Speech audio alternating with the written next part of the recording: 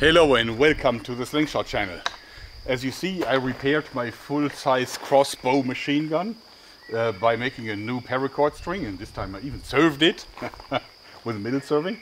In any case, it's functional again, and I want to just come back to a few of the comments and remarks that people have made. Uh, first of all, this has no aiming device. And I don't think you need one because you aim with this like with a garden hose. As one commenter stated, uh, that's one of the rare occasions where you could say, I aimed with a crossbow like with a garden hose. in, in, any case, um, uh, to prove that is true, we're going to shoot from 50 meter distance today against the steel target, and then we'll find out if it's possible to hit it repeatedly. So, uh, let's go. Hard to see the display in the sunlight. Okay. Take careful aim and... Hey, a hit! Isn't it funny that you can hear the arrows coming in after I stop firing?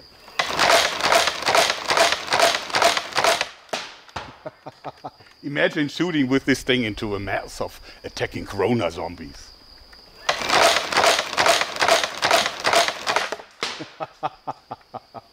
okay, we have a few more shots, but not too many.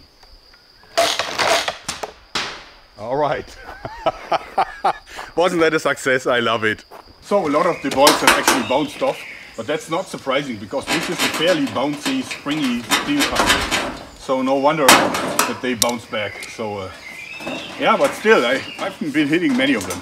So I was able to retrieve most of my arrows. and you did see that the uh, strength of the shots actually was a little bit uh, harder in the first video that I didn't record myself shooting, but that is because the paracord string is uh, slightly lengthening. I need to order a few replacement strings for the crossbow here because I think then it will ultimately have more power. And I also think that if I beef up the arrows so that they weigh more, that would also be very beneficial for the impact of the weapon. Seems like when I said that a human person could not really uh, operate this, because this is a 700 watt uh, motor. A lot of people said, well, you know, trained athletes like Tour de France guys, they can do like 2000 watts peak and they can do like 450 watts sustained and so on. That is all truly impressive and I'm not diminishing uh, their feats in any way. The only thing that I'm saying is they would not last one minute on a machine like this because this is not a steep continuous uphill drive um, like in the Alps. This is something way different because what would happen is that you would actually go extreme uphill and then from one fraction of a second to the next, it feels like the chain breaks because then you fall into the nothingness. Then you hear a little click from the trigger and then the same thing repeats. So it's like going extreme uphill with the chain breaking on you like uh, twice a second. So imagine that. nobody would be able to really endure this. I think people would give up very quickly because this is such an uneven cycle. Then a lot of people said, why don't you put the battery here?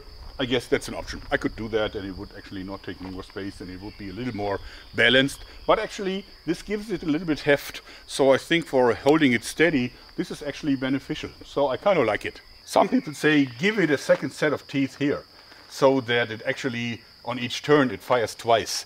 Well, in theory that would work, but uh, not in real life, because as you've seen in the slow motion, the sled needs some time to reset, um, because otherwise it, it, would hit the wrong tooth, and that would be catastrophic, of course.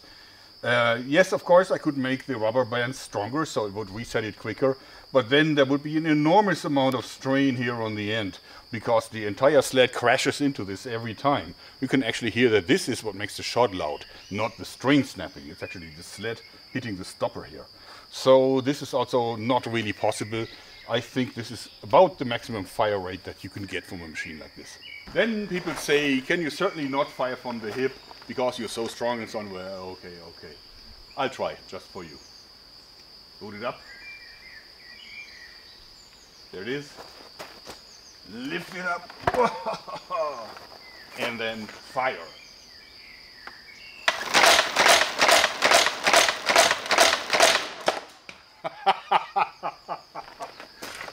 Happy now? Then people are saying, make it more compact, make it portable. That doesn't work. See, this is like the smallest engine with such a torque that I could possibly find. Uh, next in line would be the battery drills, but we've seen that those don't have enough power for a full-blown crossbow. So where do you want to save? You cannot make it any shorter because you need the distance for the rack and pinion mechanism. Because where is this going to go if, if, you, if you need to reset it? So the length is already as short as possible. Same goes for the height. See, if I shorten this, then immediately the mag capacity would go down, and we don't want that. We can also not shorten it from below, because see, the engine needs the space. I haven't wasted anything. In effect, I think I'm trying to say that I already made it as compact as possible. I could also not use a different material. People say make it in aluminum because often people think that wood is actually uh, heavier than aluminum. The opposite is true. Wood is a lot less dense than aluminum. If I would build this in aluminum, it would be way heavier, even heavier than this, even though, of course, most of the weight comes from the engine and the, uh, and the battery. Then people say, why using a simple recurve? Use a full power uh, compound bow limb set. Well, that is of course possible, but don't forget that on a crossbow, on every crossbow, like you have to service or exchange the string at, you know, latest every like 300 shots or so. Uh, possibly earlier, just to wax it. For that purpose, you have to remove it from the contraption because there's no way to access it without removing it. Removing a string like this is super easy. You can do this in seconds. But try to do the same with a compound bow limb. It, you actually need special tools like you know shed it under pressure and so on. And uh, therefore, I went for an easy solution because it makes it so much easier to service the weapon since like all full auto weapons require that. That's why machine guns actually have usually have quick exchange barrels. So when they overheat, they just put in a new one. Same here for the string. You know, it goes quicker because 300 shots on a thing like this, you can do this within minutes. okay, against the glaring sunlight. I have two announcements to make. Because this year I want to do two things. First, I want to get back into shape. And second, I want to get really good into slingshot shooting again.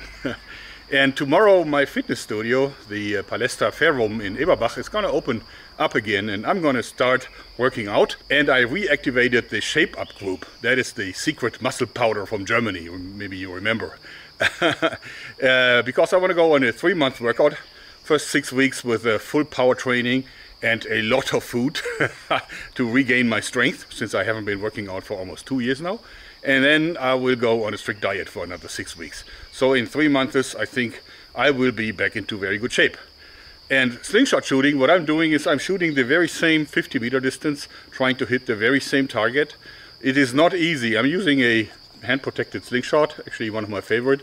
And uh, it's just a double band, nothing strong, and 60 millimeter steel bolts for the task, because it's fun. But it's not easy, because on 50 meters, that target is small.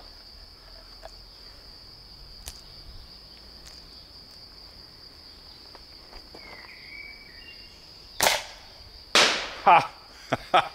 I didn't edit this, did you listen?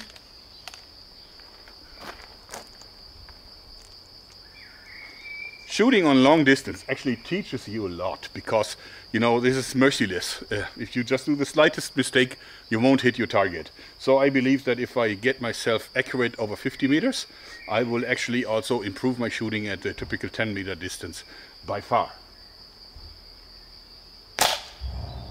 Ha! so, I hope you like this because that's it for today.